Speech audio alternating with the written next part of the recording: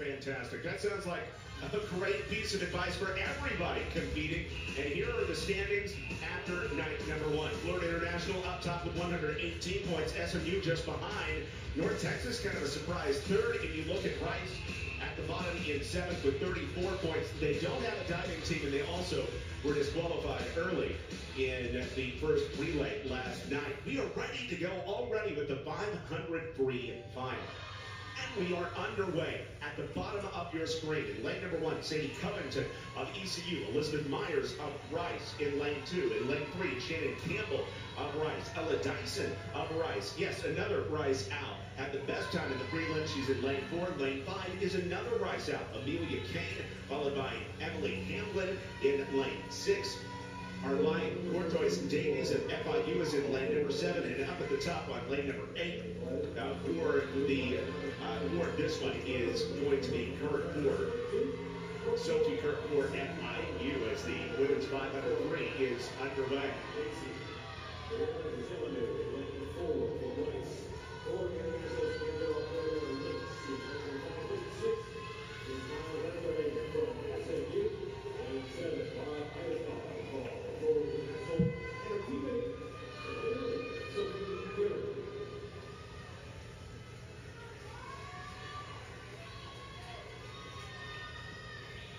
This is the consolation of the 500 freestyle.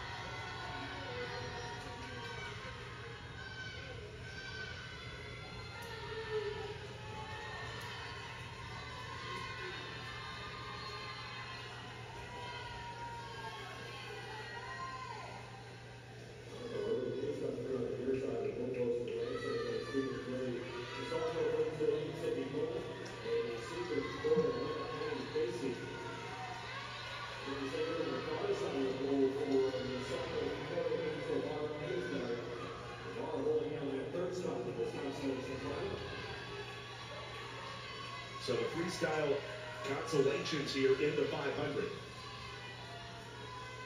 Trying to see who comes up with points here as well because Smacker, this does go toward the standings, of course, is trying to pile up as many standings as you can for your team.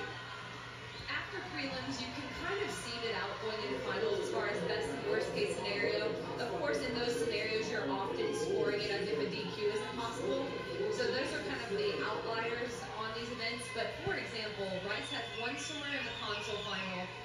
five in the final of this event. So it's a huge point scoring event for them, even if they were to fall to the bottom of those heats.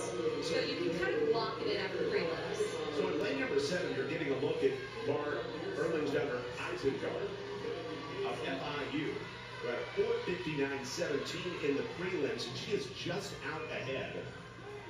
And it looks like the bottom of your screen, lane number two, Sydney Mullen of Tulane, second fastest right now in this particular consolation heat.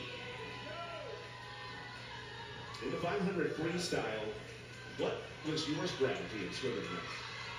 A lot of people do it as 150, 150, and then a 150, and then the final 50. Mm. So, you know, you have the 450 and the final 50.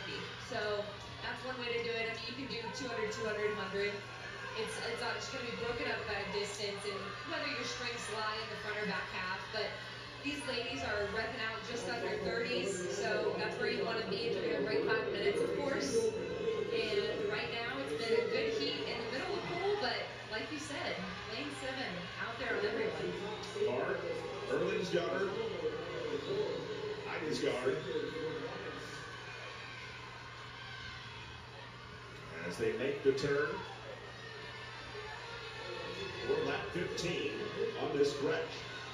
This is a really tough event, but getting to the 400 mark is a good feeling.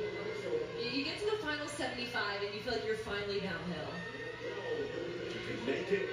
And right now, everybody on a sub five minute pace. They start to come down the stretch.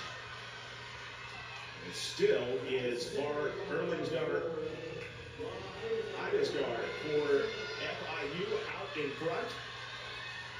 And in lane two, Sydney Mullen. Idesgard makes that turn. It does look as though maybe Sydney Mullen might be gaining on her just ever so slightly. About a three quarter of a body length lead, perhaps.